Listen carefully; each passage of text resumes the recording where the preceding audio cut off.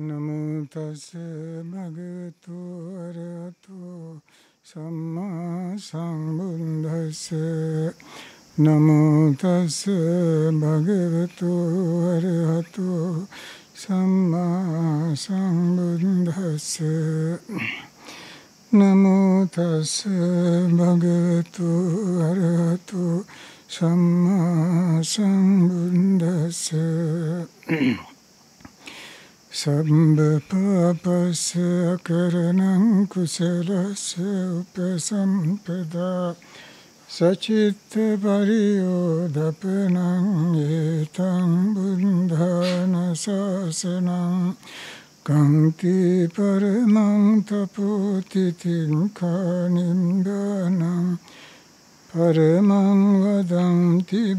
アラ නයි පම්බජිතෝ පරුපගති සමනෝති පරං විහෙටයන්තෝ අනුපවාදු අනුපගතු පාතිමොක්කේච සංවරෝ මත්තං යුත ච භක්තස්මින්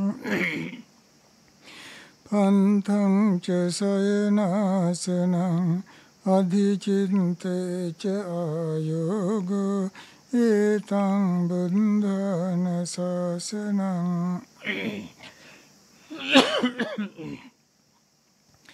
ඒතේන සයිෂවංජේන පාතුතං රතනන්තයං ඒතේන සංචවංජේන හෝතු තේ ජය මංගලං upasampada Sachitta pariyodapanam etam buddhana sasanam Kanti paramam tapotitim kanimdanam Paramam vadanti buddha नैपं भजितो परूपगति समनोति परं विहेठयं तु अनुपवादो अनुपगातो पातिमुखे च संवरो मन्तं युत च भक्तिं पन्थं च शयनासनं अधिचिन्ते च आयोगो एतां बुन्धनशासनम् एतेन शैशवञ्जेन पातु तं रत्नन्तयम् एतेन सञ्चवञ्जेन होतु ते जयमङ्गलम् एतेन संशवञ्जेन सदा सन्ति भवन्तु ते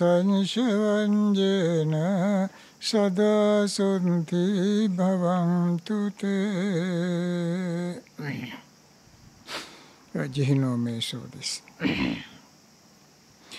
生きとしけるものが幸せでありますように。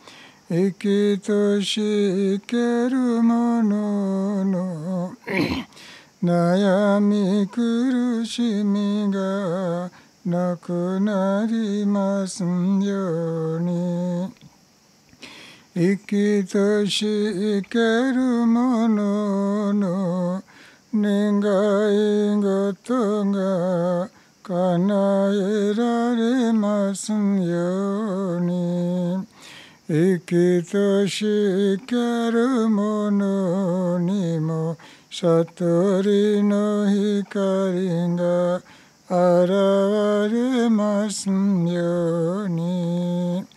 生きとし生けるものが幸せでありますように。生きとし生けるものが幸せでありますように生きとし生けるものが幸せでありますように生きとし生けるものが幸せでありますようにと念じます。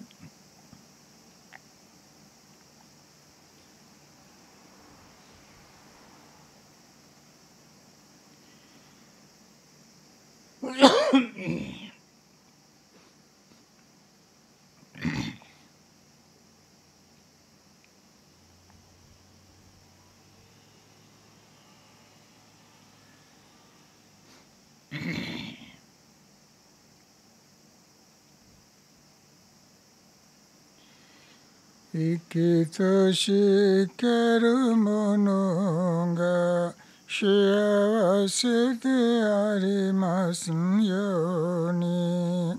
生きとしけるものが幸せでありますように。生きとしけるものが幸せでありますように。はい、ありがとうございます。では、よろしくお願いします。はい生きてる全ての人間っていうのは幸福になりたいと思ってるしあの幸福それからまあ幸せまた、えーと、成功とかね何かあの探して頑張ってるんですね。そこで世間では成功者っていうふうな場合はいろいろ考えは持ってるんです。えー、幸せですか？と聞いたらまあそれぞれ考えに基づいて幸せですかそうではないかと答えるんですね。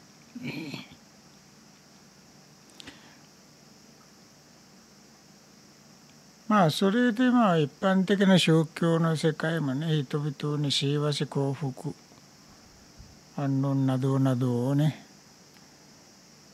永遠の安らぎ永遠の命などなどをあの提案はしているんですね。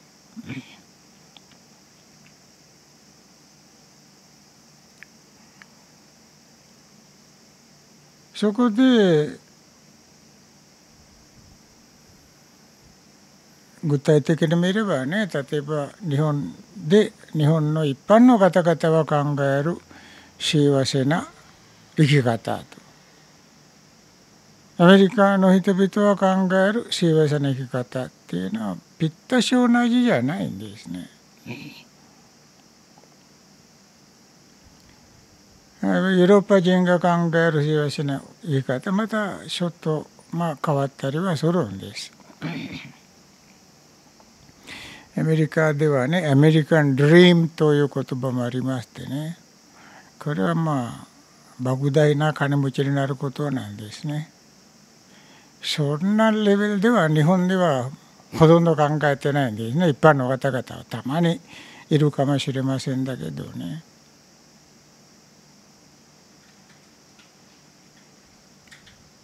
で他の国々に調べてもまあそれなりに自分なりの幸せの定義持ってるんですね。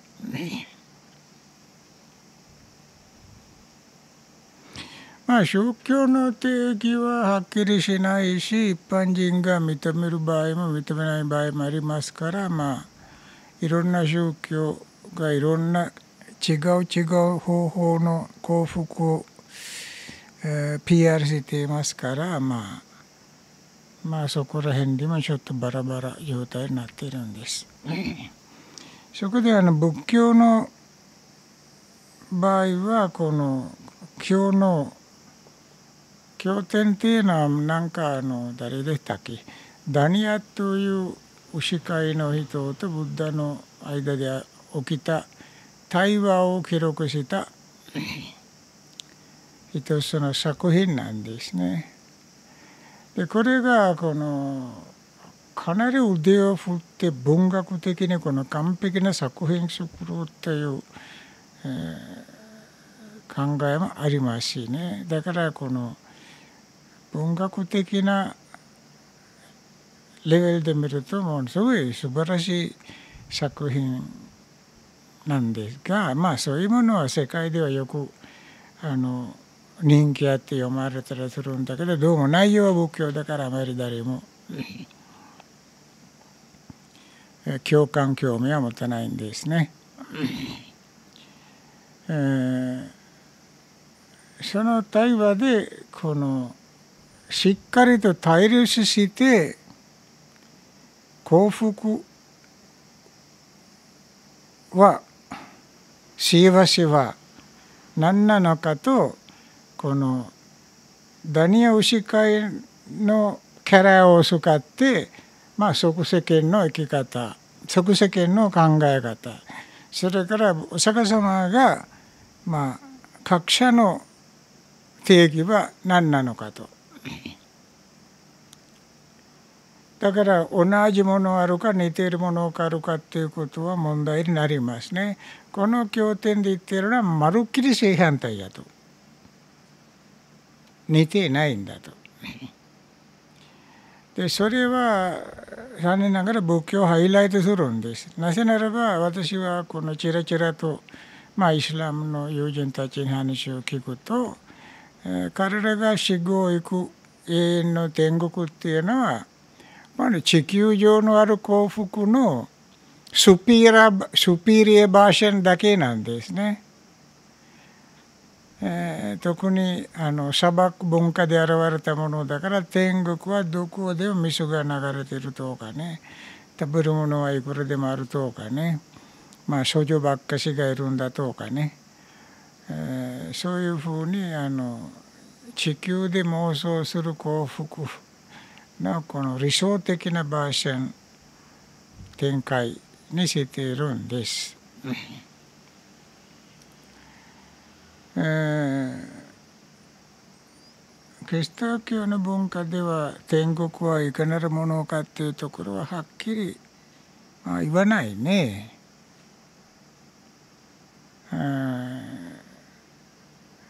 天国はこのようなものであるっていうふうなテキストはないんですね。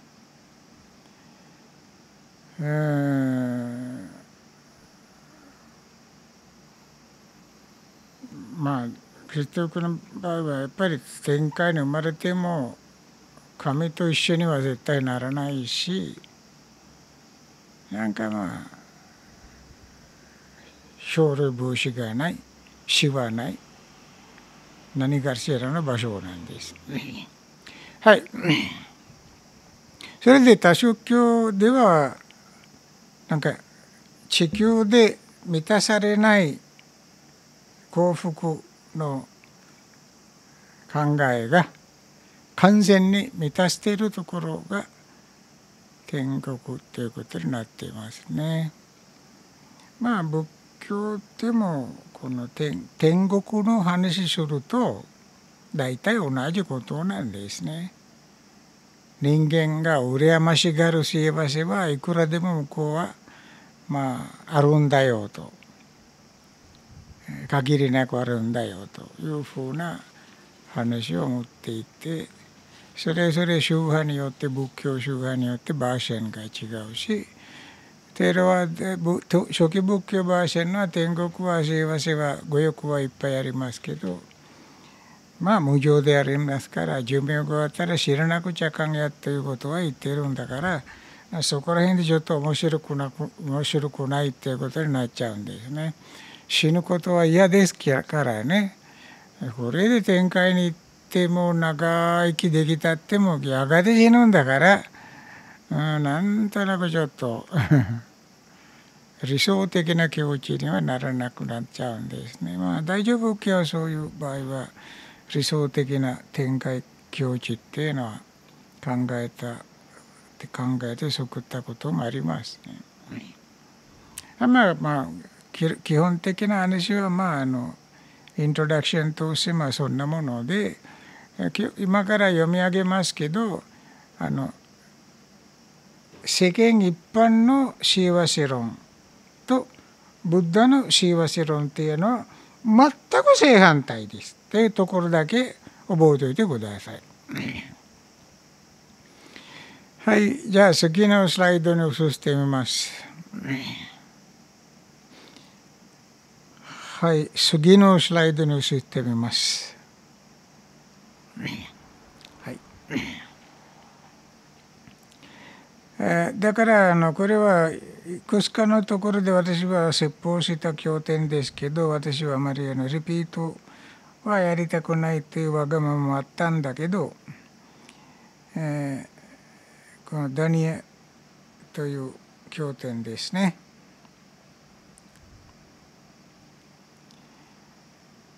これはあのソッテリンパダ2番目の経典になっていてね、まあ、結構、まあ、パーリ語の文学作品としてみればものすごい完璧な作品なんですね。で今回使ってるのは石飛美智子先生の日本訳でございます。だからまあできるだけ私のいい加減な解説を入れないであの読み上げようとはしまいしし読み上げようと思います。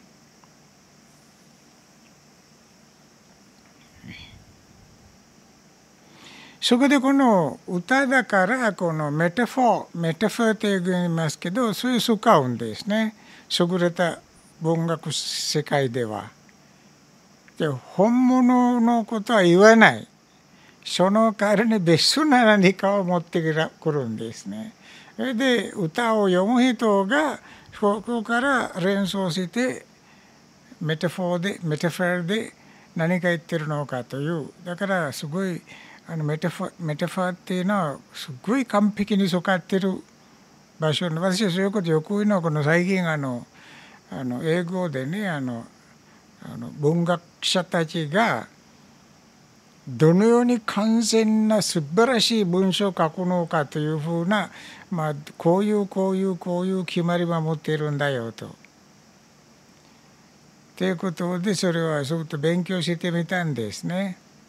だから最初にその損書いた人のこの普通の詩ではなく普通の小説などなどであっても言葉で歌わなくちゃかんやと。キャデンスというこのメロディーがあってでこれが生で歌作るよりは相当難しいんですね。だからまあやっぱりそういう決まりあの現代書かれたテキストにあった決まりを全部守っているんです。見てみれば。しかしこれは歌ですからまあポエトリーの書き方で作っているんですね。そこで poetry の書き方の中でも見事に言葉遊びをやってるんです。だから直接これやっていうふうに言わないで metaphor で metaphor でなんか言うんだよ日本でもあの時々あのまあ季節を入れなくちゃかんっていうんだから今は春ですと誰も言いませんねあの日本の歌の場合もその代わりに何か使うんですね。何かメタフォーを買うそれであこれは春というふうに読む人は理解しなくちゃかんですね。それでここであのずっとつなげているテーマメインメタファーは雨なんですね。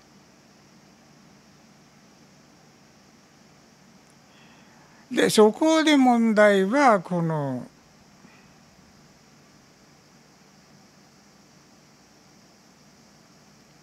雨だったら何も悪くないでしょうとね。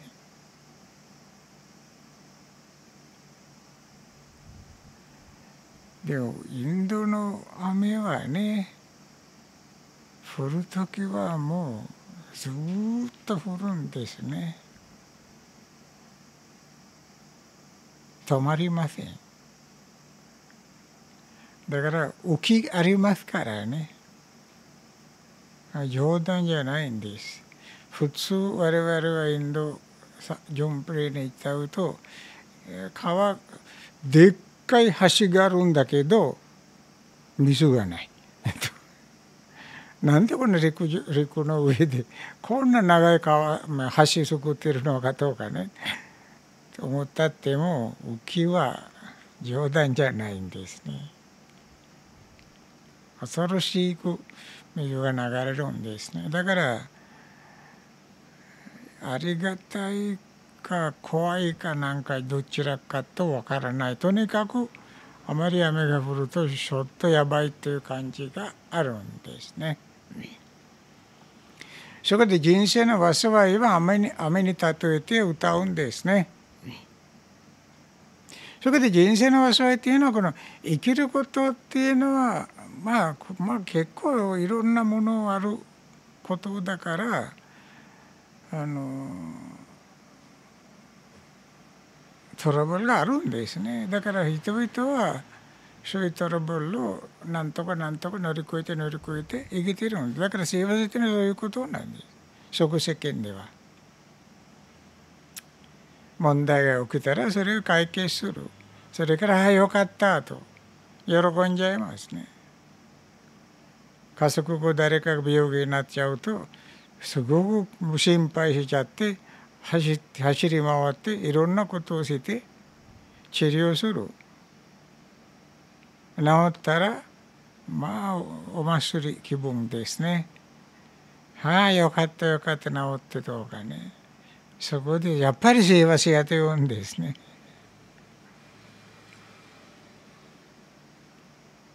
でそんなふうに幸せを理解しているんです。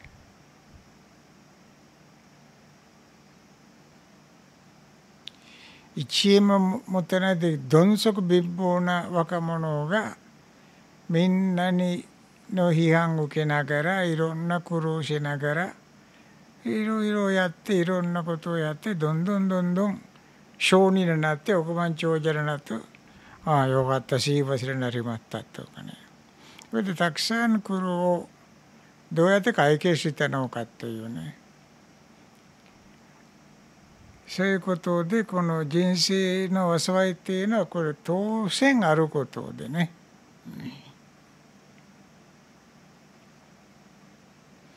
うん、第一芸。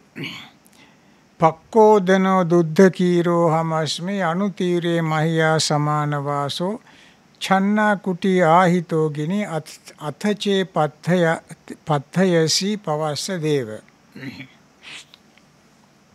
で最初の歌はダニエさんのダニアっていうのはこの牛飼いの名前なんですね我々一般的なダニエ・ゴーパールって言うんですねなんかゴーパールはなんか自分の家の名前みたいになっちゃいますけどまあそうかもしれませんしねダニエ・ゴーパールダニエですね。えー、おそらくものすごい豪雨になる気配があったと我々イメージしなくちゃんいけないこれ詩だからね文学作品だから全部言わないんです。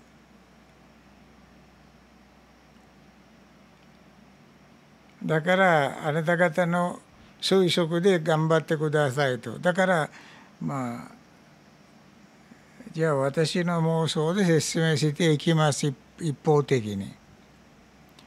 恐ろしい雨が降る予定がある。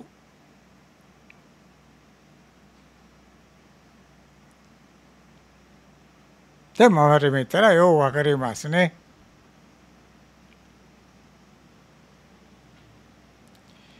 すごい大雨言うとやっぱり心配ですね。それでこの人はパッカードのまあご飯の用意はできている。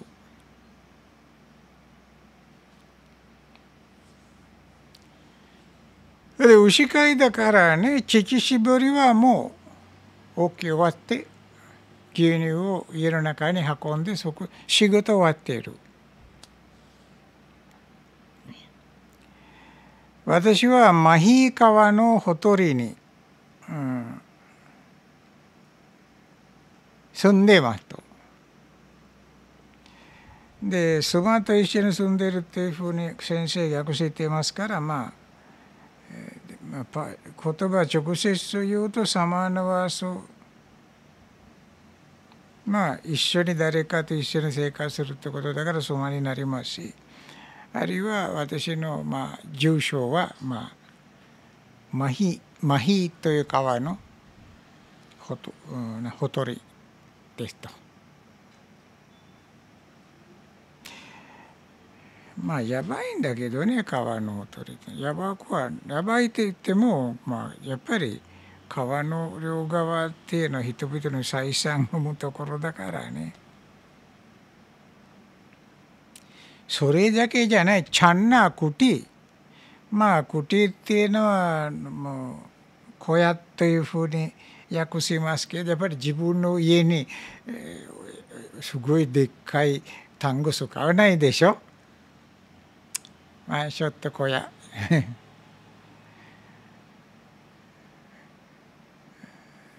ということはそうかってますね。だから小屋の屋根がしっかり吹かれているんだと。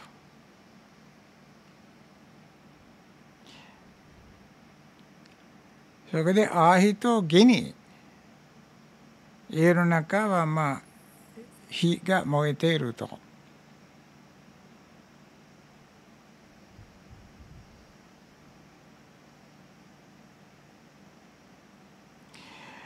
だからご飯作って終わってるんだったら火を消せこの野郎と言いたいんですけどね。だって薪でやってますからね。何ですかねこれは。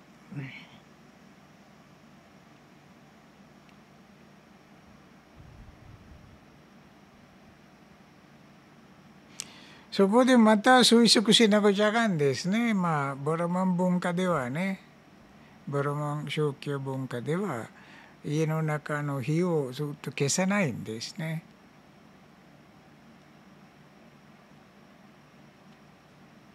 聖火ですからあの神棚っていうところがあってそちらにずっと火が焚いて燃えているんですね。だから家の採算によって何かしらのまあ大体油とかなんとか作ってずっと家が火が、まあ、焚いてる。これ薪でやってもいいんですけどね。でずっとね 毎24時間薪で火を置く火を起こしたまんまで置くということは大変なことになりますけどね。まあだからここで家の中で行う他の何か何かことがあっても大丈夫です。火がしっかりありますということかもしれませんね。そこで準備 OK 雨が降ったっても私は安全だよとでそこで言うのはこの何か災難災害があるという計画はあるんだけど自分が安全な安全を確保していますからね。まあ大丈夫ですよと。現代と違いますね。例えばワクチン打ったからといってコロナに感染しないという話はないんですね。あワクチン打ったんだから大丈夫ってそれもできないしね。ワクチン打った人々も結構ちゃんといい加減ふざけて生活しちゃって感染したことがあるんですね。それデータ取ったらワクチンの何のためやと言ったらやっぱり知らないんですね。それだけです。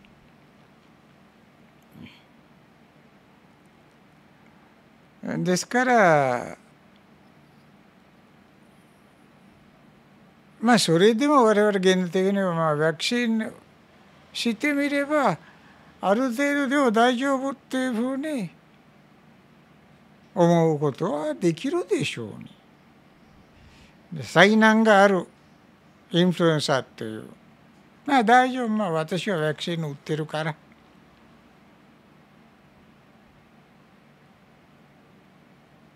ということでだからここで雨生きる上で即世間で出てくるあらゆる問題トラベルは雨というメタファーで使っているんです。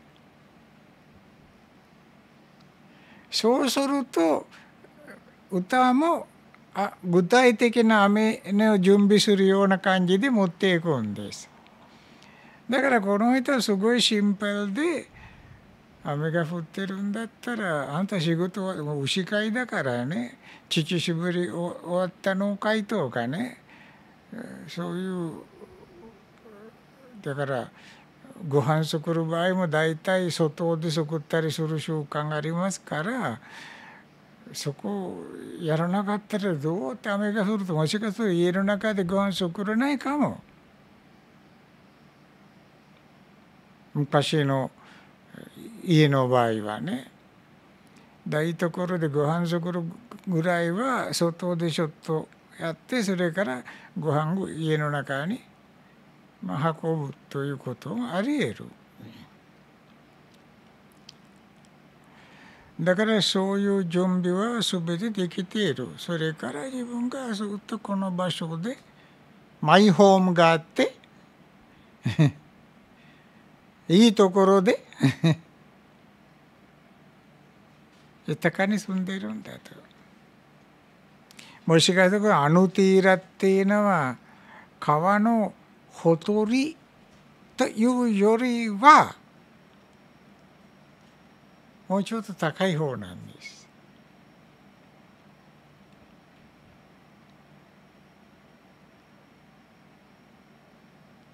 だからちょっと高水になっても大丈夫です。で川すぐ見える、まあ、ところで自分たちがもう川の本当の音からもうちょっと違って違う高いところに住んでるんですということあの時はそういう意味なんです。ではまあそれはダニエさんの歌それに応えてお釈迦様が歌うんです。はい。ブッダの答え。アコーデのヴィゲテキーロハマスミ。アヌティロマヒヤエカラティワーソ。ヴィワタクティニブトギニ。アタチェパッタヤシパワッサデーバ。まるっきり反対のことをおっしゃるんです。しかしここで難しいところであの言葉の発音似ている発音を使ってまるっきり正反対のことを言うんで、まあ、次のスライドで私はサンプル一つだけ出しますけどずっとそのサンプルでいくんで例えばパッコーでのでご飯炊いて終わっているパッコーでのその A の前に P 入れてるんです。こちらその日それで P 抜けてるんだよお釈迦様の場合は。悪行でのちょっと文字一つなくなっただけで。でキャレス同じでパと言ったってもあと言ったっても一つの濃度だからそれで OK なんです。悪行でのっていうのは何で言ったっけ？怒りが一切ないんだと心に。初期のことはヴィゲタキーロあるいはドゥッダキーロという言葉に黄色は同じ単語名詞。これ発音の遊びなんです。黄色ドゥッダっていうのは乳しびること。そこで黄色の場合は父は黄色と言うんですね。R 使うんです。これはまあ日本だったら大丈夫ですね。R と L の差が全然ないんだからカタカナにすればまあ黄色黄色ですね両方も大丈夫です。でもパリ語では R と L は相当差があるし2つですから黄色は父で黄色は杭なんで杭でしたっけね？さすやすね。だから逃げた黄色杭を抜かれていましょうと。それは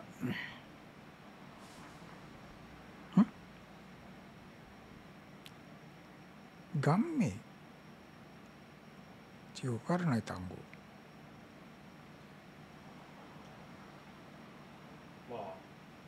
愚かさみたいな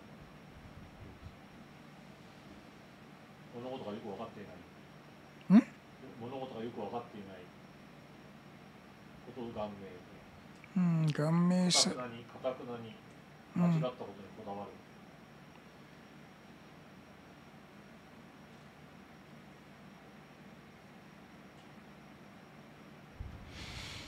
うん。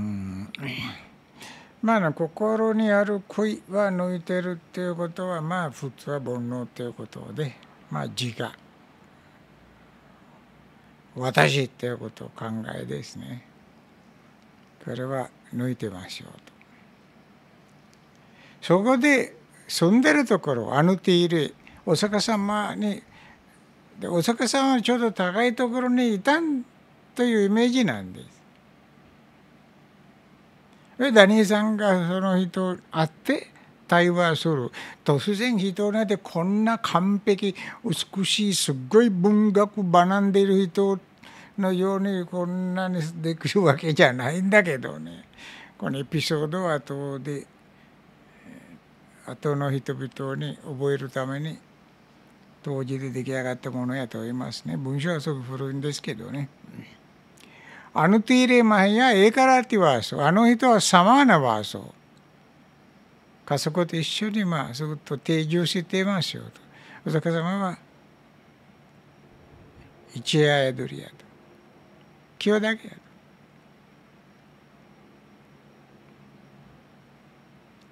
そこであの人はあの小屋をちゃんと戸締まりしていると言ってるでしょ？お釈迦様は小屋を開いてるんだ。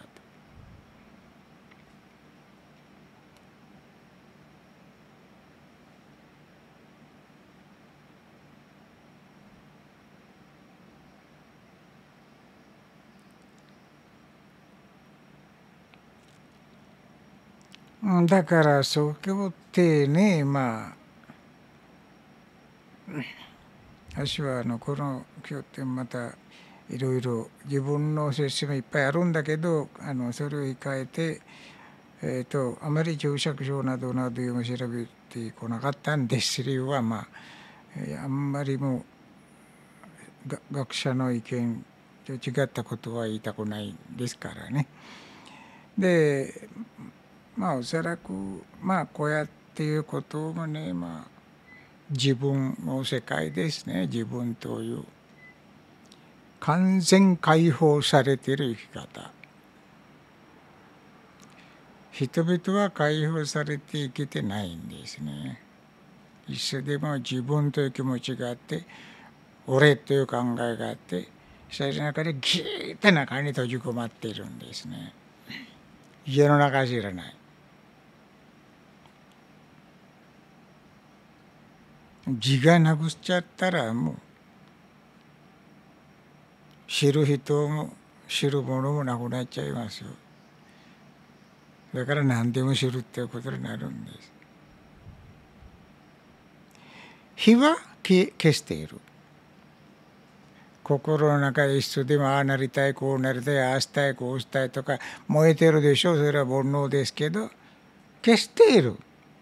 だから正反対。火が過ぎているから雨が降ったって俺は大丈夫火を消しているんだから雨が降ったって私は大丈夫やと。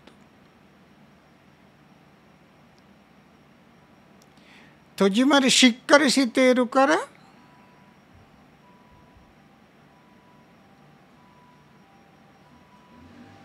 雨が降ってもいいもう全部開いちゃったんだからね大丈夫やと。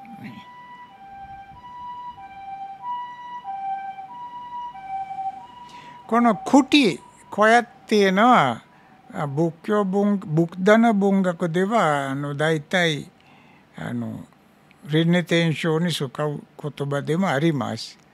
だから命を救ることっていうのは家を救ることだと。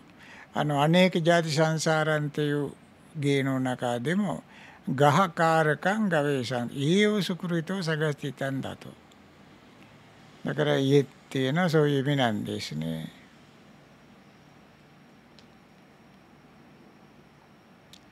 だから大阪さん雨が降ったってまあどうぞ。別にどうぞ。心配一切ないんだと。はい次に説明に行きます。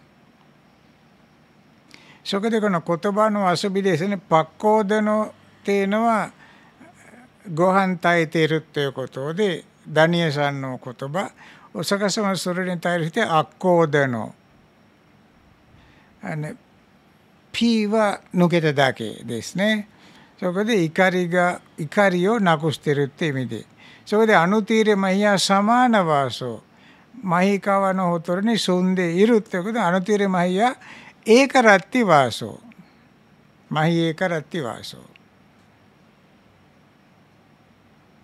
一晩の宿とだから心配することはないああ壊れちゃってああ住んでる人はそう困るんだけどこの方は出ていくんだからねベースに。で困ることはないんです。これでチャンナクティビワタクティ。チャンナっていうのはクロースね小屋を閉じているお釈迦様はビワタクティは反対の小屋を開いている自我を破ってるという意味なんですね。そこで救いのアーヒトギに火は燃えている。お釈迦様はニッブトギに火を火は消えている。その場合煩悩っていうことを意味するんです。だからものすごく対話でダニエさんの芸にブッダの芸をものすごくはまるようにぴったし計算しているんです。はいまあずっとそんなこと言っちゃうと時間なくなりますからまあそんなサンプルですと理解してください。他も全部そういう調子でいくんです。はい。えすぐにダニエダニエさんの歌「採算は安全」というまあ微妙にこの即世間の幸福の世界に行くんですね。だからダニエさんの話はすごい可愛くて、まあ、牛飼いだからそんなに大げさな商人でも何でもないんで分かりやすいんです。しかし世間的にどちらでも誰だって財産を安全したいんでさせたいんですね。これでダニエさんの財産はこの牛なんですね。そこでインドブッダのパーリ語で出てくる文化では最高の財産は牛であるというフレーズあるんですね。ナティゴサミタンダナン牛に等しい財産はないんだよだからブッダの言葉で言えばあまりこの金銀宝石はあまり財に入ってないんです。財産じゃないんです。牛なんです。日本に言えばまあもう畑田んぼでしょうね。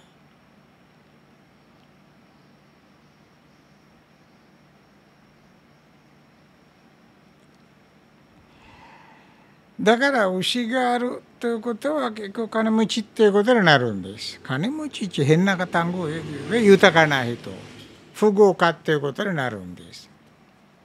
金持ちではないんで金はあまり 相手にしてないんです。ですから自分の財に対して語るんで「あんだけまかさなびじゃれカチェルラティネチャランティガオウッテンピサヒユマガタンアタチェパ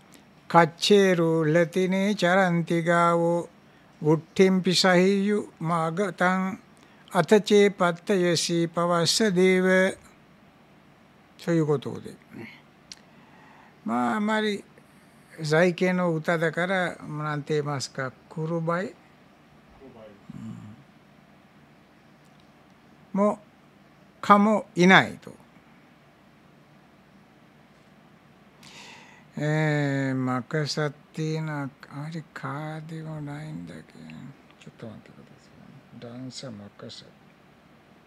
うん、この牛を刺すアブですアブとかね。すごい怖いんですよ。もう痛いと言うとも。波の痛めじゃないんです。でそこであのキスが入っちゃって可能するんですね。そこであのあの普通のハエが来て卵産んだりするんだからみんな死んでしまっちゃうんですだから牛飼いの人々はあのずっとあの何て言いますかあの薬草のがあってそれを燃やして煙を出してずっと、うん、煙を出すんです。牛の体全部。牛が入ったらだっと煙を出しちゃうんです。でそんなに嫌な匂いは薬草の匂いだから牛たちもそんなに気にしないだろうと思いますけどね。これは定期的にやらないと2日3日1回ぐらい。そこであの煙って薬草だから油がありますね。それはあの毛牛の毛に残っちゃうんですね。そうするとあの虫たちが来ないということでね。まあそれはこちら書いてないんですけどアブがいないということでね。カッチェルールティネチャランティガオ。なんで蚊帳の灰生い茂ったの町で牛たちは歩き回っている。まあ一応放し飼いだからね。結構いいところでみんな自由にもう食べるものいっぱいあるんだよ食べながらまあいるんだよと。水が飲みたければそこら辺水もあるし。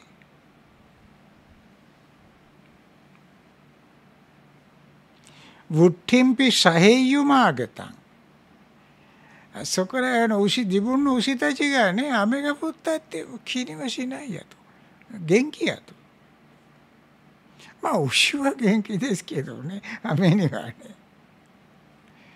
震えて稼ぐことはないんだからね、えー、要するに健康な牛たちですね病弱の牛たちはいない ですからまあ雨が降ってもいいんだよと。ここでなんで関係どんな関係かというと、まあ、やっぱり財産は安心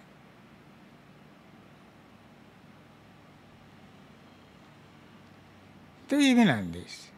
だから即世間では幸福っていうのは自分の財産が安全です。すごい借金でもしてやっても毎月払わなくちゃかんだからちょっと間違って払わなくちゃ全部財産取り上げられる 田んぼで取り上げられる場合もあります安全じゃないね。だからここで財産の安全を歌ってますね。はい、初期に行きます。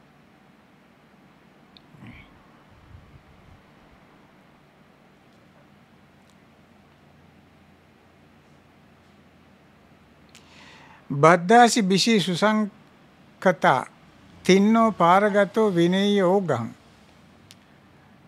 අත්හෝ බිෂ්‍ය නවිජ්ජති අතතේ පත්තයාසි පවස්ස දේව そこでこれはいきなり仏教の話に入りましていかだはしっかり編まれてよく作られた そんな牛やることはなくてブッダの世界ではまあいかだを作ってるんですね。えっ、ー、とボルを制して彼岸に渡り到達したと。私はこの世から渡ってましょうと。いかだを作って。この仏道のいかだっていうのはあの発祥道で仏道であの修行のことなんでまあブッダの教えそのものもいかだというんですね。輪廻を渡るための。だから輪廻を渡ってるんだと。それでいかだもいらなくなっちゃったと。仏法もいらなくなっちゃったと。まあ仏法というのは我々の場合仏法って言うんだけどお坂さんの場合は仏法っていうことは意味がないんだけどだからまあ法真理道ですね。でほうやら死んで道があったんだけどそれをしっかりやって渡りまったもう真理もいらんということになるんで。だから雨が降ったら関係ないよなの。もう別世界にいるんだから。降りなさいよ。要するに即世間のどんな災産災産災難があったってももう関係ないもう自分が完璧に安全なんですね。そこで財を財を安全しているということでブッダがブッダの心の安全を心の安らぎを安全に達しているんだからいかだ捨てましたと言うんです。いかだで渡ったんです。今あまりにも安全でいかだすらいらなくなっちゃったと。だからお互い様安全語ってる歌ってるんです。一人が財産の安全。ブッダは一切の悩み苦しみから身を守って安全確保しているんだよ。はい、次に行きます。それまたダニエの歌。悪のない最愛の妻。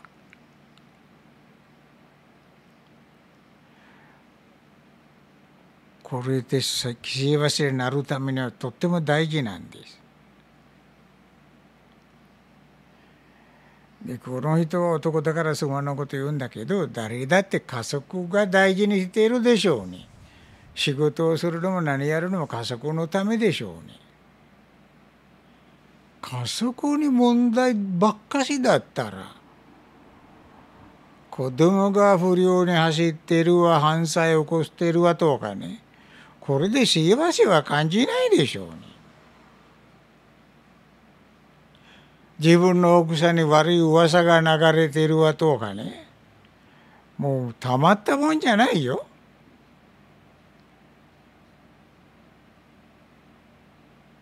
それは昔インドでも今現代に至っても同じことで。家族はみんな子供はビシビシ勉強しているいるわとかね。立派な大学に入っているとかね。あるいはすごいかっこいい仕事に過ぎているとかね。食この加速の安全、ま、財,財,財の安全家族の安全。それは人々の幸せの定義なんです。ゴピママサバアローラディガラタンサンワシアマナパタサのスナミキンチパパンアテテパテアシパワセデーヴ私の妻は従順で欲がないそれは嘘でしょ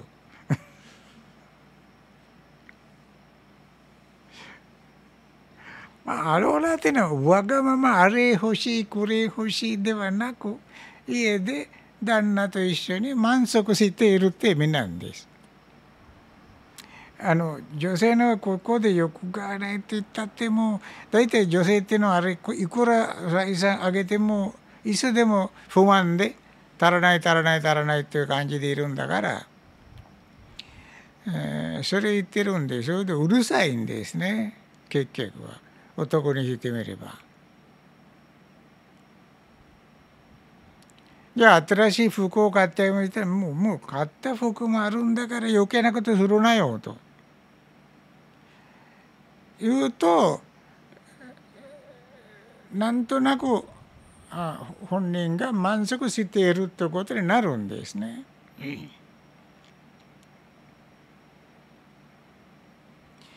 それから達者な達者なすなみ禁止パーパカン。私の意にかなっている。んあ、ディーガラタン・サンワーシア・マナパ彼女は長い間一緒に暮らしているが私の意にかなっている。気に入ってるっていうことでしょうね。結構お互いの性格ぴったし合っている。だ長長く一緒に生活していてお互い様すごくもう合っているという意味なんですね。意にかなっているではなくて気に入っている。合っている。彼女についてどのような悪いことも聞いたことはないな。誰も彼女のことを批判しません。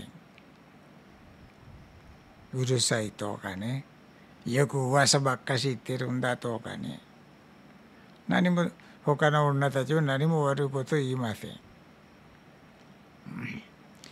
ですから別に雨かぶってもいいんじゃないいわゆるどんな不幸が人生で来ても私の家族は大丈夫です。私には楽しく安穏で安全でいられますという歌なんです。はい、次に行きます。ブッダが正反対のことを言うんです。心が正常。無無悪。だからパーパカンという単語があったんですね。そこを使ってブッダの歌を作ってるんです。チッタンママアッサバンウィムッタン私の私の場合は心だ心のやる煩悩などなどなくなってるんだと私の心は入ね従順で下脱しているではなくてアッサワンっていうのはアーサワの芸芸に必要なように書き換えてるんです。煩悩なんです。だから私の心の心が煩悩から離れている。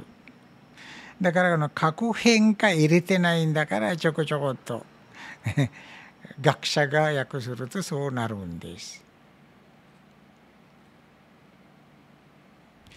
核変化入れてないんだからでこれ文法間違いではなくてこれこの通りのぴったしの作品なんです。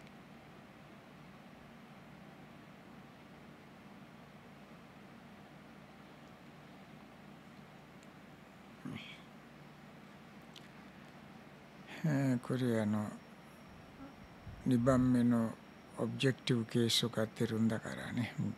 ディーガラタン、パリバハビタン、スダンタン。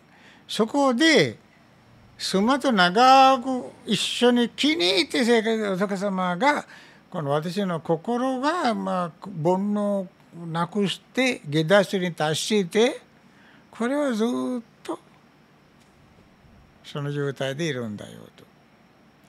長い間収容してきたのでよく重語されている。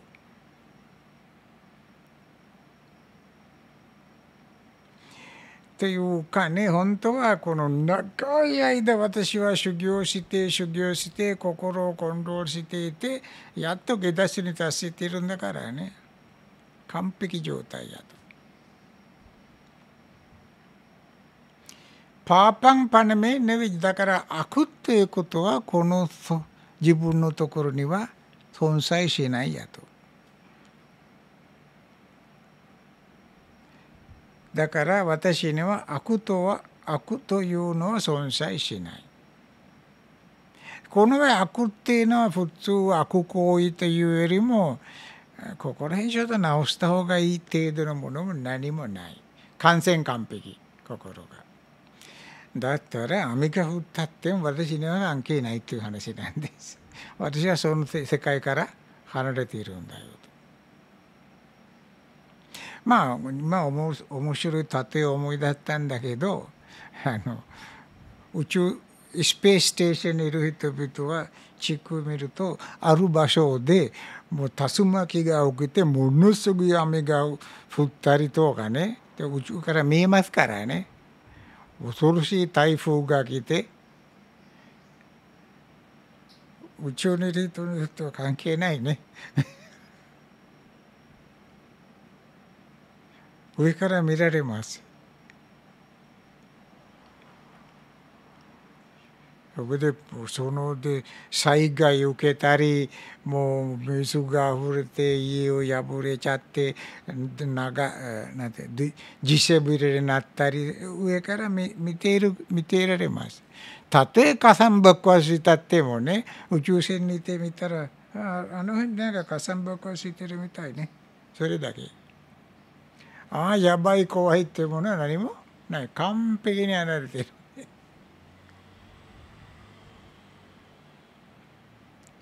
そんな感じの歌ですね。アタチェパッタエシパワッサデーブ。ここで、あ、今見つけた。さあ、望むなら雨を降らせよ、神を。それではなくて、あの神っていうのは雨の同義語なんです。神じゃないんで。だから、雨よ雨が降りなさいっていうことだから そう日本語に訳するとまた変になっちゃいますからね。ですから私訳するならば雨が降っても構わないそれだけ。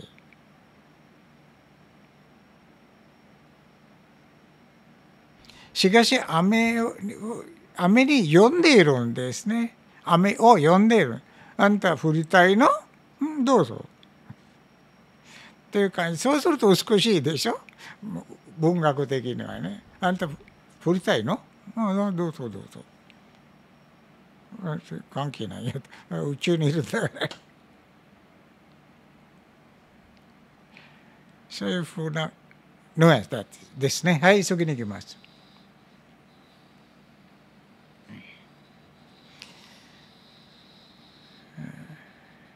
自営業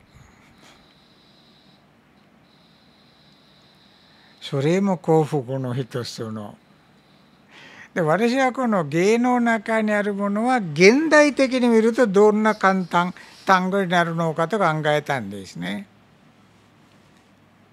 ダニエさんが自営業なんですね。まあ、日本でもねサラリーマンよりはね自営業の方が自由で自分がマスターでねいじめられたとかな、ま納得もないしねパワハラがあったとかもないしね全然大丈夫ですね。あったウェータナバトーバトハマスミ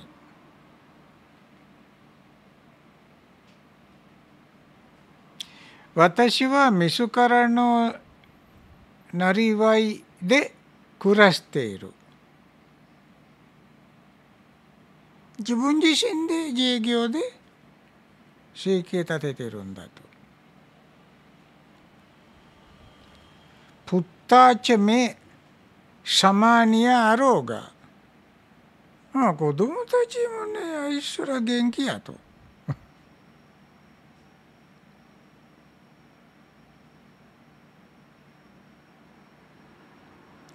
だから私と共にいてでたそういう意味はないんだけどまあ私の家族のまあ子供たちあいつらが元気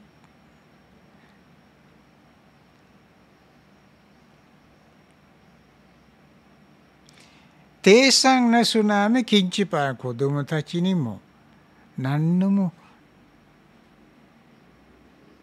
文句言うところはないんだと。ものすごくいい子たちやと。何一つも一言いいところはないんだと。だからあ振りたければ振りなさいよと。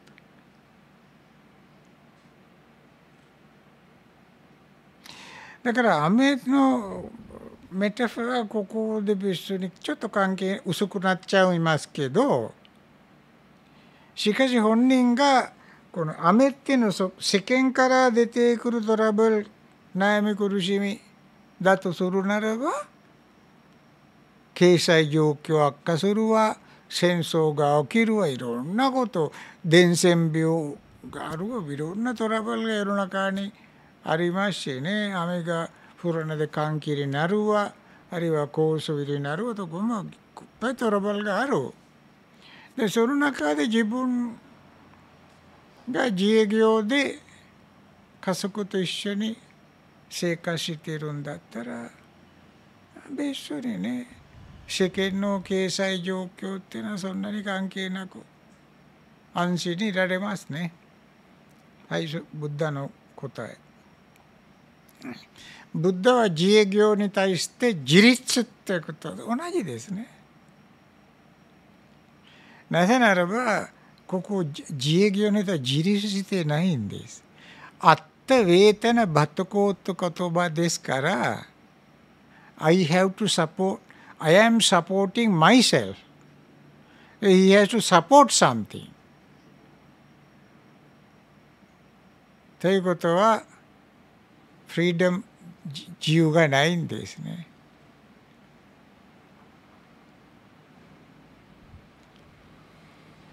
だからお釈迦様同じ単語バタコという言葉使ってますね。養っているっていうね。ナハンバタコースミカッセチ。私はいかなるものの使用人ではないという訳でございますね。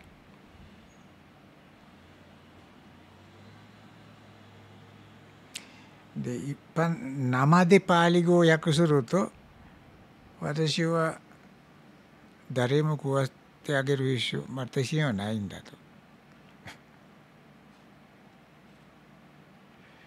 あ食わせてあげなくちゃあかんって言ったると自分自身であって家族でありでしょ？え誰も いないやと。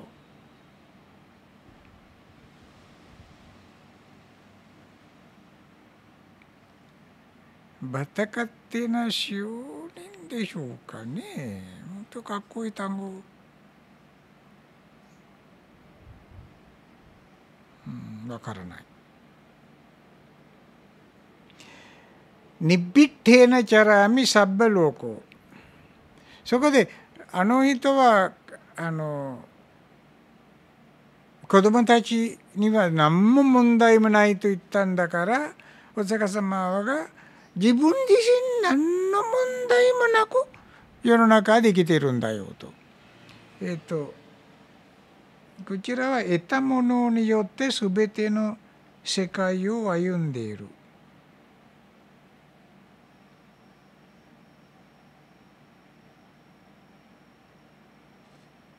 で訳せていますね。だから学者の役はそういうことですけど私の愚かな役はそうじゃないんですね。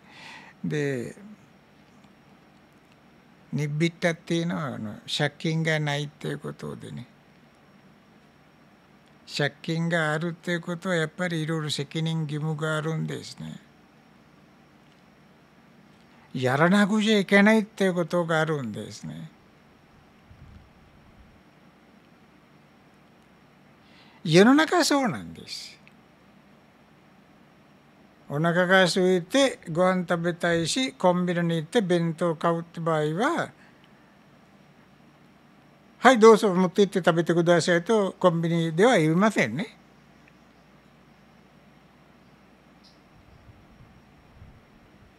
お金払わなくちゃいけないんです。お金払って弁当をいただくんですね。だから自分が何かやらなくちゃ何かやられない世界なんです。世界ってのはそういうことなんで。でも大体人々の性格を見ると何もやらないでいっぱい得るものだけ得たいとはみんな思ってはいるんだけどそうはいかないんです。たくさんのことをやってから何かいただくのは普通なんです。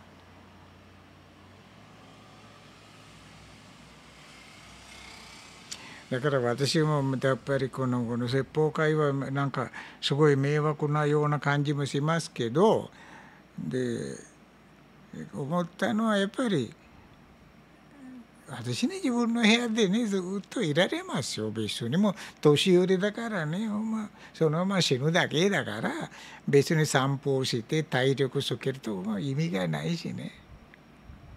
そこでもうあまりもう脳みそがかゆいんだから情報しろと思ったらいくらでもありますしね。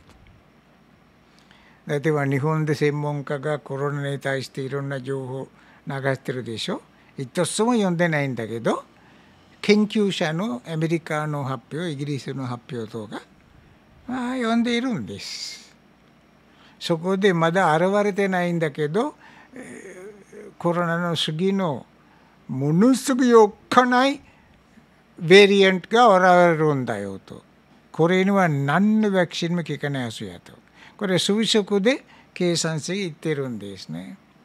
まあそういう文章も読みまそれはまだあの学実質的な論文としてはまだ認めてないただアイディアだけでね。まあそこまで読んでいるんだけどベースにねそういうことで私にも家の中でね何もしないで。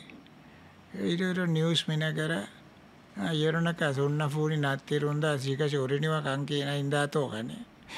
思いそうす政治論なみんなぐちゃぐちゃぐちゃぐちゃギャーギャーギャーギャー言ってるんだとかね。俺は投票もしないんだから関係ないやね。と というふうに一人勝手で喜んでいられますけどね。しかし生きてるでしょう。自分も。ご飯食べてるでしょうね。だから何かやらなくてはと。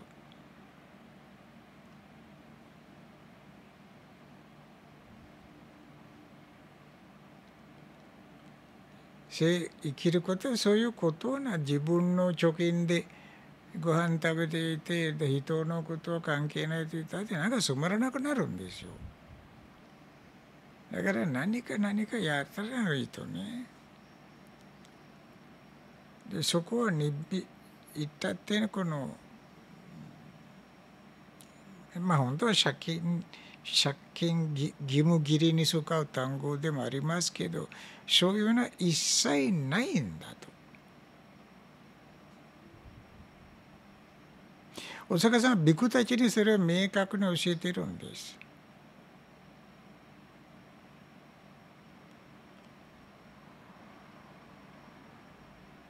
修行しないで宅配室でご得たご飯食べたらあんた借金したんだよと。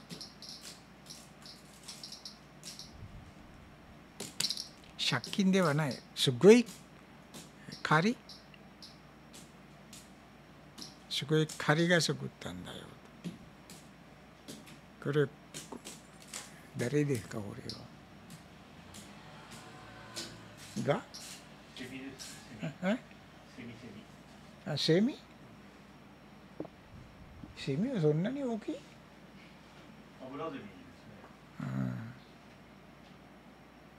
うん、ああまあなんか落ちすえ？うん。落ち着きました。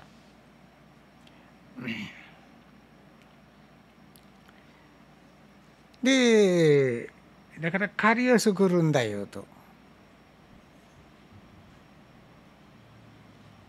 だから人々はチェックしてもしなくてもお布施でご飯もらったら自分がしっかり戒律を守る義務が自分自身にあるんです。あ誰を見てないんだけど気にもしないとかね。放っておいてくださいよ原始人でも。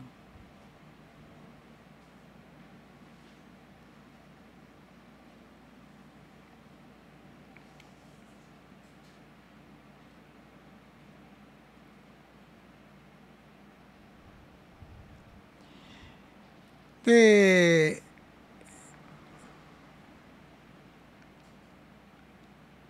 それから借りがないっていうのは荒かに達したいとなんで。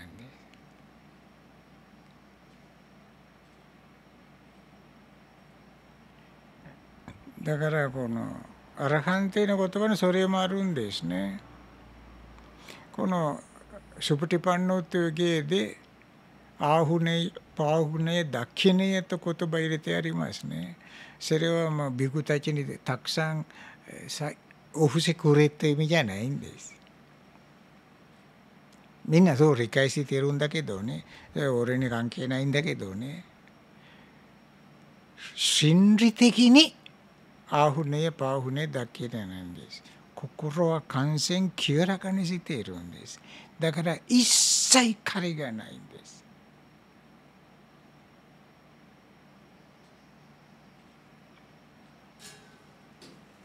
だからこういう人におとなしくいることできんだから迷惑ばっかして。説法聞けば油せめでやっても。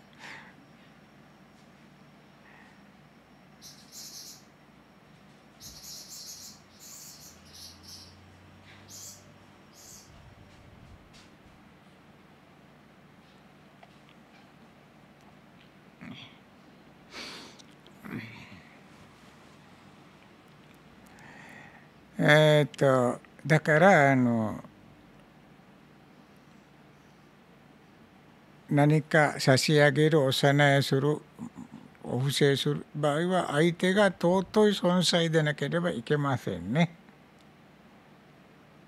それでサンガがそういうアラカンたちはその失格を持っているんだよと。だから心理的にアーフネパーフネダッキネっていうのはサンガですよと。だからこの借りがなく世の中で生活するっていう言葉はここだけじゃなくていろんなところでお釈迦様の言葉には入ってるんですね。ニッビッテーナチャラミサッバローケ世の中でどこ行ったってもお釈迦様にはもう借りがないんです。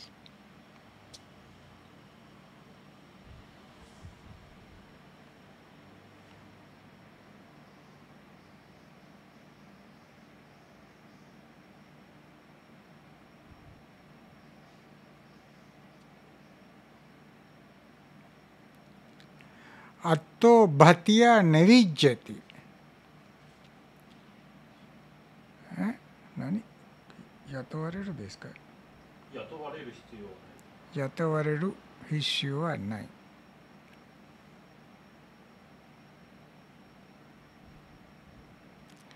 まあなんか命を保つために何かやらなくちゃあかんってもういらんやとそんなのは。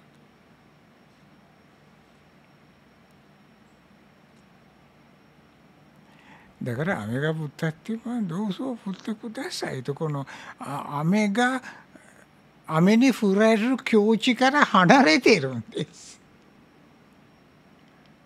ダニエルさんが雨に降られる境地の中にいるんです。だからいろんな安全対策作ってるんです。また面倒くさいんだから雨が降らない境地に行こうよと。悩み苦しみ小老病死がないところに行こうよということなんです。はい次。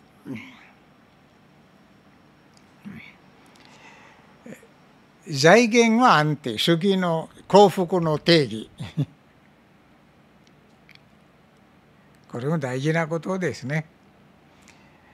අත්ති වස අත්ති දේනුපා ගෝධරණියෝ පවේනියෝපි අත්ති උසෝ උසභෝපි ගවම්පි ගව ගවම් ප්‍රතිධ අත්ති අතචේ පත්තයාසි පවස්ස දේව. කොයිෂුගායිරු හහවුෂිගායිරු මත ඔනකනෙ කොනෝ අරු උෂිම ඉව නින්ෂින්චූන උෂිමහිරු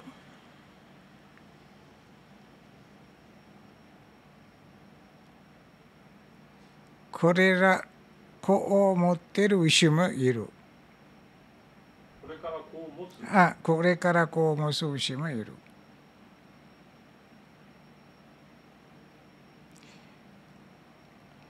またお牛もいる。お牛でしたっけ、はい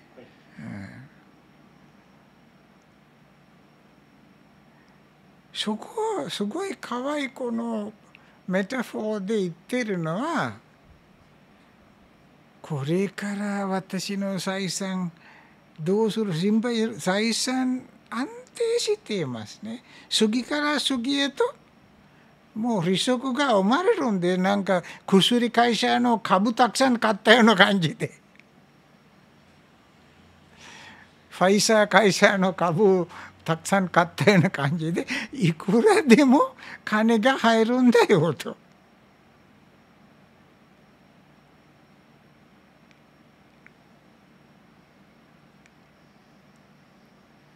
だから雨が降ってももうふふ大丈夫やと。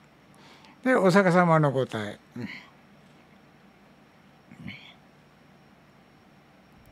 なってはさなってでぬぱ何もないんだと。子牛はない母牛もないいない。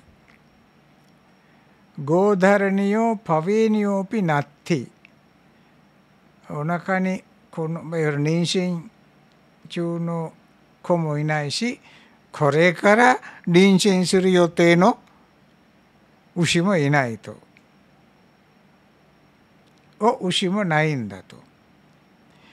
なんかここで逆な単語逆なアイディアがなかったみたいね。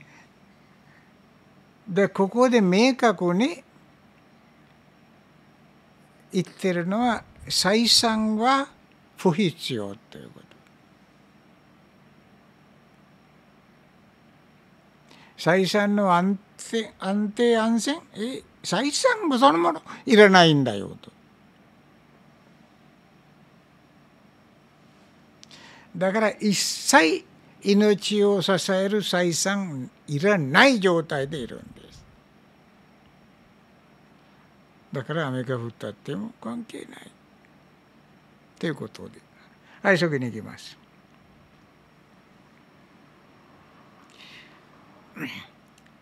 主義この土台は安定ということでそこで現代的に言えばこの社会の安定なんですね。今一番いい時期なんで説法するためには。日本社会はまあ不安定な状態にあると言ったっても世界も同じことで。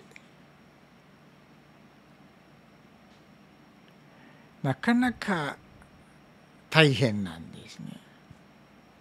商売は成り立たない。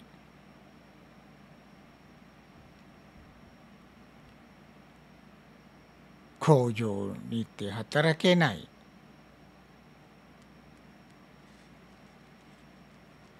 あの一番最初のドイツでしたっけ？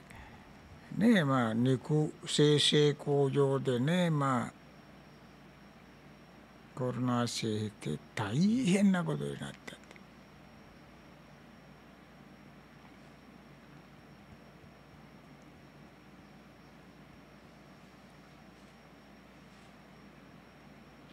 ですからこの幸福の場合はこの土台が大丈夫なんですね。ただ例えば日本国が安定して戦線トラブルもなくあるならばちゃんと会社に行って仕事をして給料もらってまた明日も 集金してっていうふうにあのサイクルの生活はできるんです。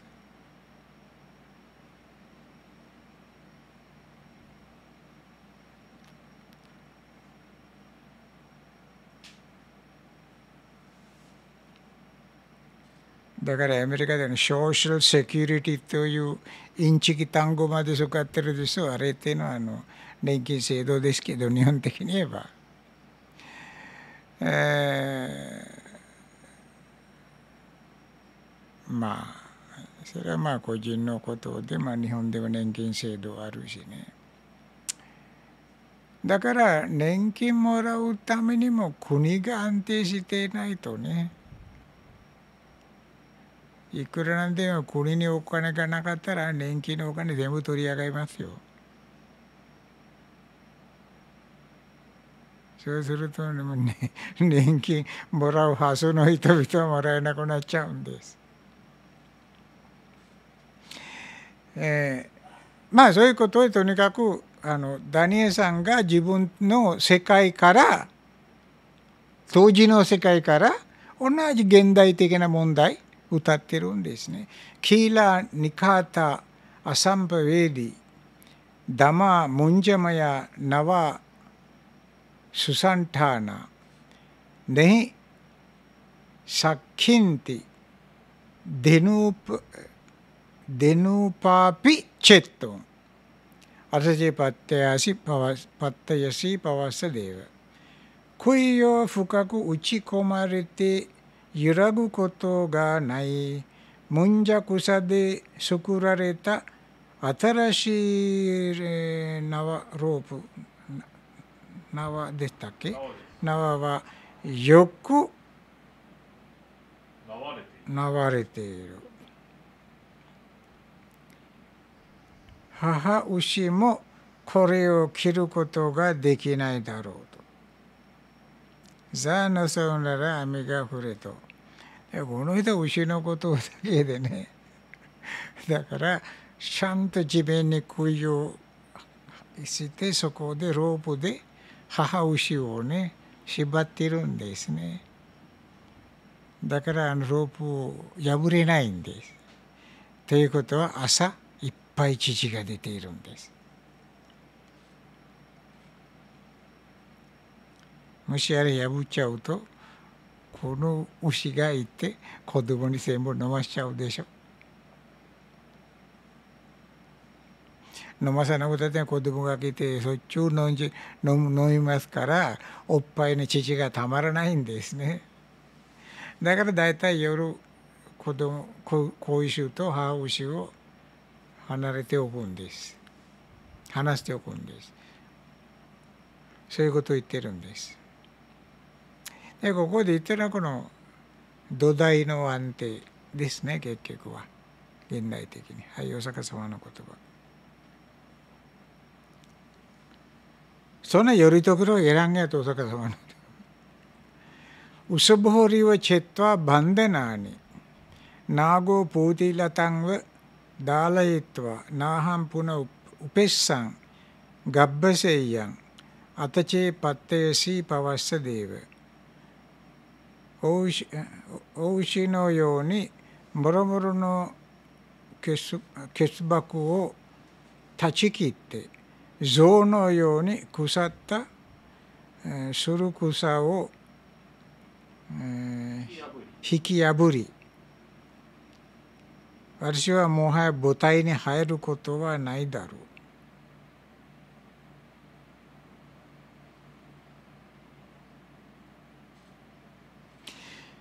世界様幸福というのはまた再び呼ばれないことですね。すべて束縛切っちゃったと。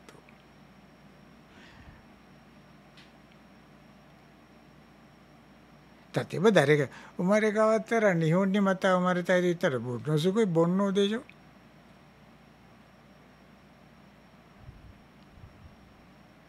ら大阪束縛言ったのはこの、まあ、腐っているする草をあの象さんがくちゃくちゃにするような感じで。もう太刀打ちできない状態強さで全ての煩悩を断ち切ったとだから戻ってこないよとこの雨が降る世界に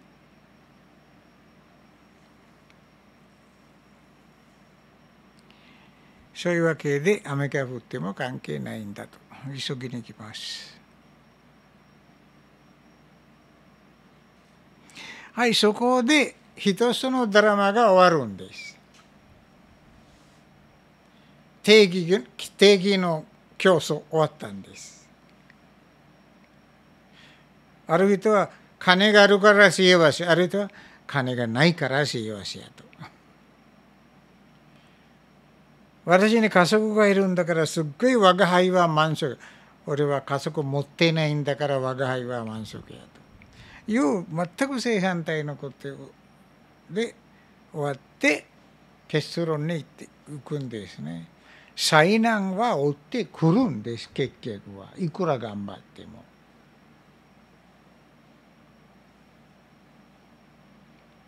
なんかくだらんことをやらなくしていいんでこんな頑張ったからって言って災難から逃げられることはできなません。不可能。ニンナンチャタランチャプーレンとマハメゴパワシタワデーヴシュトワデーワサワッサと今マっタンダニオアバーサとにわかに大きな雲が低地にも高地にも満たしながら雨を降らせ降らせたと。ものすごい豪雨いきなり雨が降り出しちゃったんです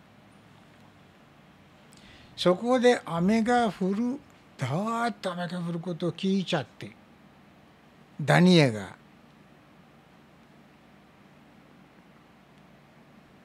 次の歌を歌うんです次の歌を言う前に偉そうなことを自慢しても震えたんですだから世間はよく仏教の悪口であんだすめられて自分たちが不幸になったら泣いてるでしょうに。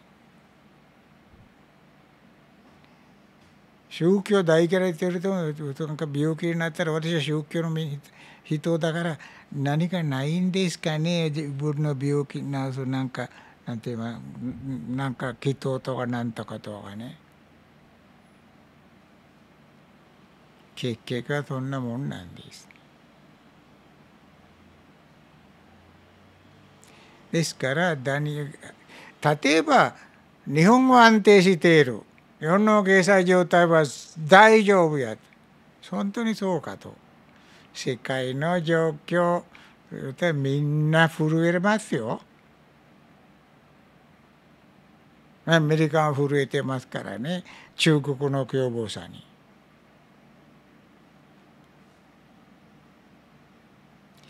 だからいくらでも中国にしたってもあんたすごい乱暴でものすごく自分儲かるだけでも品物を売るだけで買うこと一切しないでそこで金がたまるわたまるわあの材料買うお金しか中国から出せないんですね材料買って品物を作って売って3倍儲かると。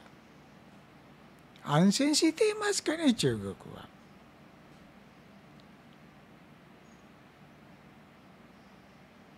だから人を弾圧したり労働者を踏みつけたり言論の自由を奪ったり主義勝手な人を処刑したり結局は怯えていますよ。いまだにダライ・ラーマに怖いんだからね。なんだこれやと。だね私は反中なん反中なんて言いますかないんだと。別にまあ平和でやってくださいと。チベット戻せとジャライラマは言ってない言わないんです。でもダライ・ラマさんがどこかの国に行ったら中国は興奮することを一回スリランカにも呼ぼうかなと話し合っちゃう中国は呼ぶできなかったんです。日本には来ますねたまたま。内緒で来るでしょう結局は。ニュースも流せません。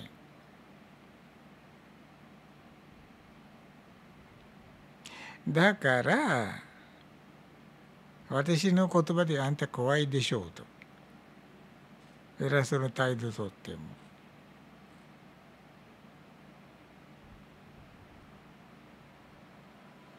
偉そうな態度。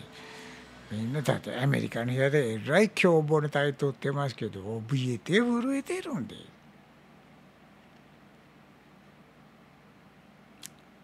だからそういうこと起きたんで最初に行きます。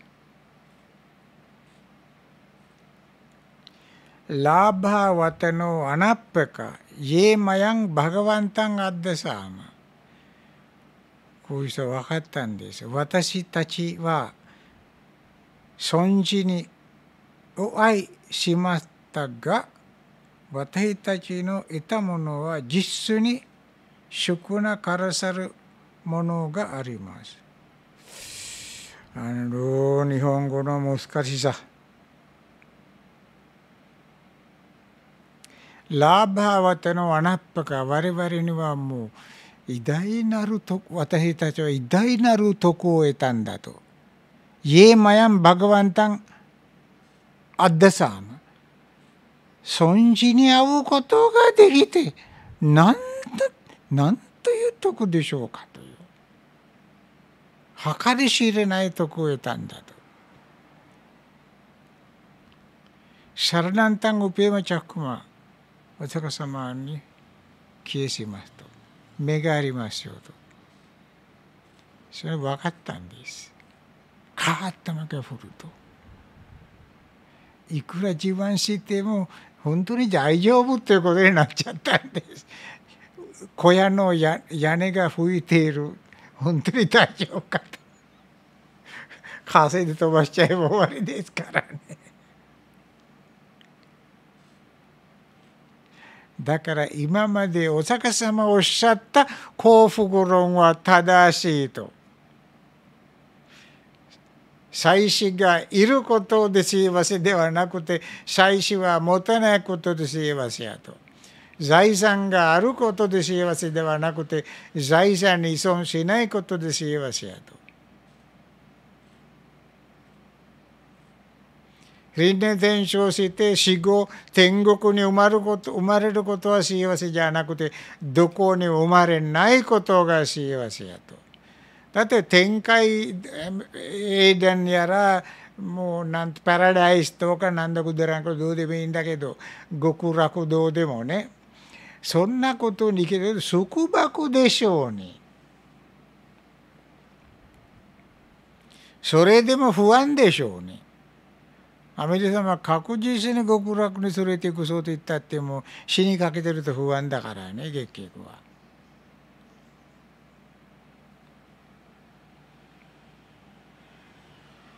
もしかするとね人が死んでるああ阿弥陀様がね、まあ、携帯で SMS 呼んでいたならばどうしますかと。死んでたあ魂運ぶことできません忘れちゃったとその間でもたくさん まあおっかないとまあこれは冗談で言いましたけどで阿弥陀様に会ったらごめんなさいって言いますからかったってですけどとかね言いますけどだからこの人は目があり目ある目がある人に会います消えしますと。サッタノーホンティトゥワンマハムニ偉大なる無ニ聖者は我々の師匠になってくださいと。はい次。そこでやっぱりだけですね。ゴーピーチャアハンチャアッサワブラクマチャリアンスグテチャラマセスマも私もどこで従順でありますって来るんですかねパワーリ語で。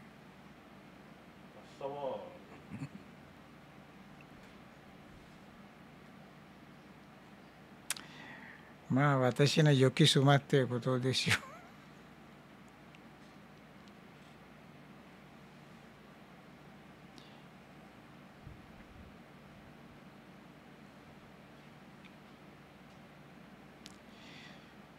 2人で私と仲良しの妻とブッダにブラハマチャリアンすぐてチャラブラハマチャリアっていうのはまあ正常行と書けてますけどまあそれはまあブッダの教えた道を凡行をやりますと。だからインドの言葉だからブラハマチャリアっていうのはもう本当に修行に入ることなんですよ。夫婦で。即世即世間的な営みは全部やめて。これが道やと。だから優しい人でしょう。だから自分一人ではなくて奥さんも無理やりお前もやりなさいよと。すごくいい人なんで。で二人で仲良しだからまあこの日ということだからねじゃあやりますってことに奥さんもやります。ಜಾತಿ ಮರಣಸ ಪಾರಗು ದುಃಖ ಸಂತಕರ ಭವ ಭವ ಮಸೆ ಶೋಷಿの悲願にわたって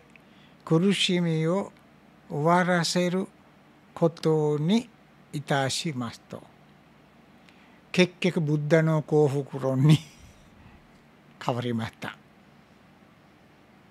これしか幸福の道がないと分かったんですね。はい。なんか辛口言いたくなったんだけどやめます。最速に行きます。そこでこの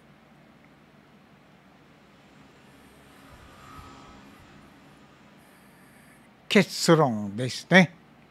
でなんでこのドラマを歌ったのかと。ということは分かりやすくここで省略するんです。要約するんです。なんでてプッテイプッティマ。子のあるものは子らによって喜ぶ。当たり前ね。子っていうのはまあ子孫ですね。ゴミコゴヒタテはなんでて同じように牛のあるものは牛によって喜ぶ。だから牛という単語には財産入れ替えてください。財産がある人は財産で喜びを感じる。ウパデイヒならさなんだな。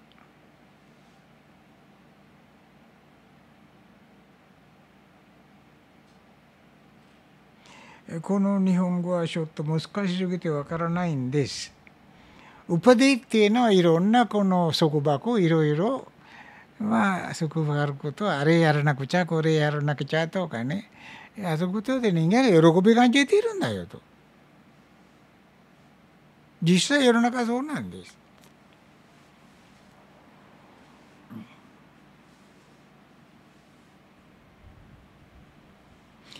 マスコミ関係の方々でもねあの明日何か撮影がありますよとかねドラマの撮影やりますよとそれ1か月とかブスつけてやりますから京都ででホテル泊まりやとかね喜んでいくんです。で1か月とかの撮影俺まで家に戻らないでしょ？気にしない。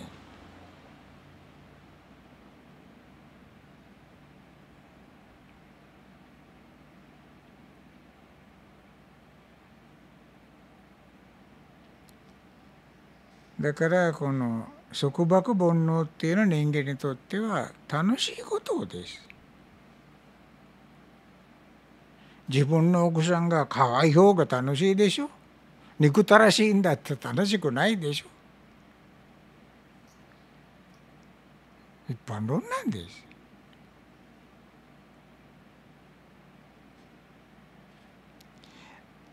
ねいそう、なんでちそう、にーパで、そんなものないもないとは、財産もないわ、家族も子供もいないわ、やるべきこと、仕事などもないと、あの連中ね、何の楽しみもないんだよと。これが誰が歌うんですかね、これは。もう、マールさんがね。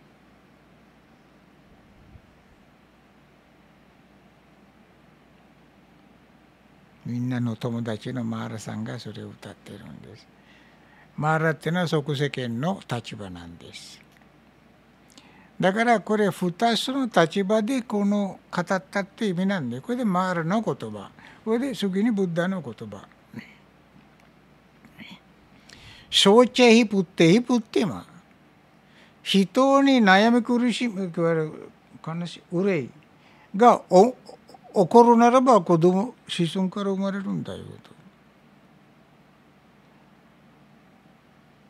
別にねまあ北朝鮮の子供が死んだからで悩まないでしょ自分の子供が死んじゃったら、まあ、ひどい悩むでしょうね。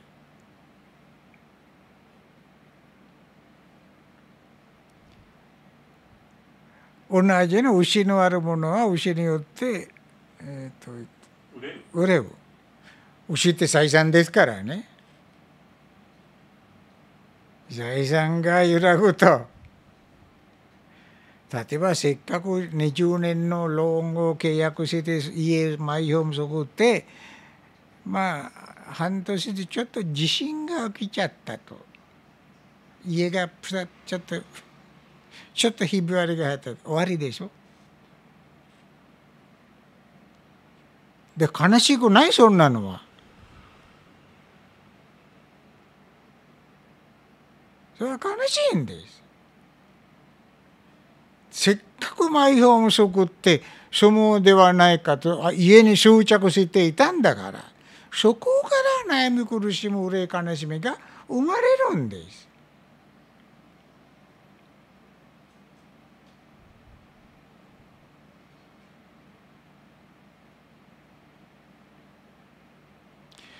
ということは、まあ、隣の家の奥さんがすごいわがままでもう採算は無駄遣いするんですよと。聞いてもこちらの人は悲しまないでしょ？ああ大変だ困っちゃないでしょ。自分の奥さんがそんなことやっちゃうともう大変。だからこう愛する者からでしょうく悩み苦しみが生まれるの。ウパディヒならせそうじゃな束縛あることこそ人々に悩み苦しみ作るんだよと。束縛なかったら何もないんだよと。どうぞ思っていってください感じで生きてればいいんです。それはお釈迦様の言葉でそれで終わりでしょうおそらく。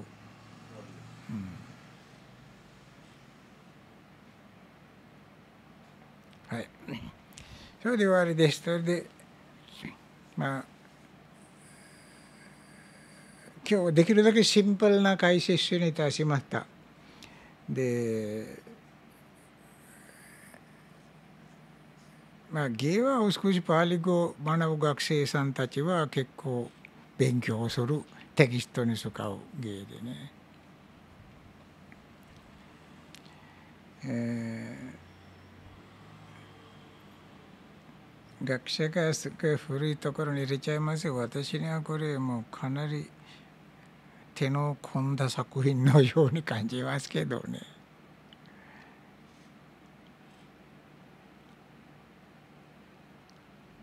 すっごく気をつけて精密に作った作品ですね。まあ昔経典のものだからね。